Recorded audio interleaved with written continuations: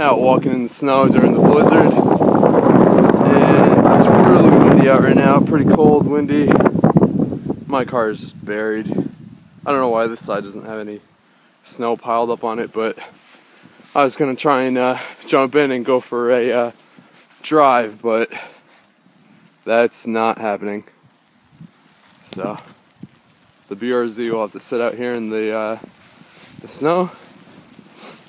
I'll clear it out tomorrow uh, once the snow's done. We're about 12 hours into the blizzard, and if you can see that, it's uh, well over a foot deep now. So.